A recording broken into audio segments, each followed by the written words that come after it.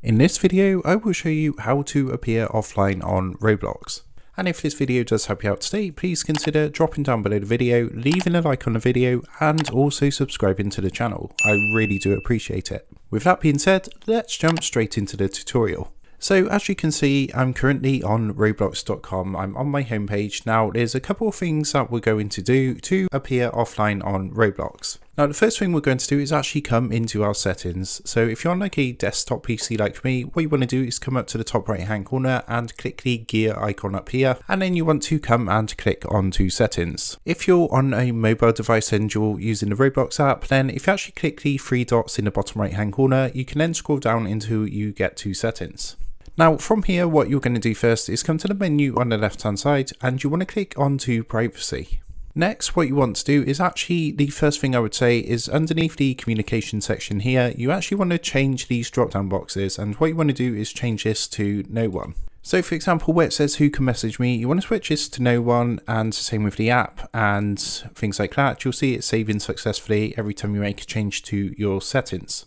Also, if you scroll down slightly under the other settings section, again, you want to do the same here. So set everything to no one. And this means that no one can message you whilst you're online. So you're going to appear offline to other people.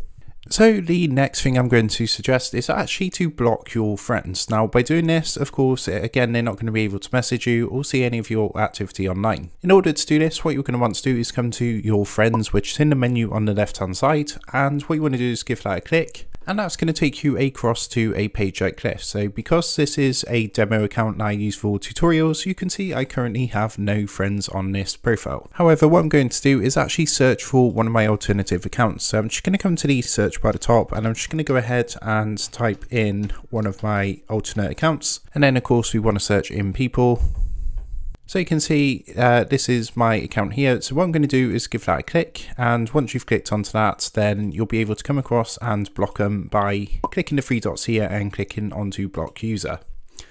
Again you're going to get a little pop-up so you just want to go ahead and click block to confirm that. Now, one thing I do want to note at this point is if you are friends with that person, what it's going to do is actually unfriend that person when you block them.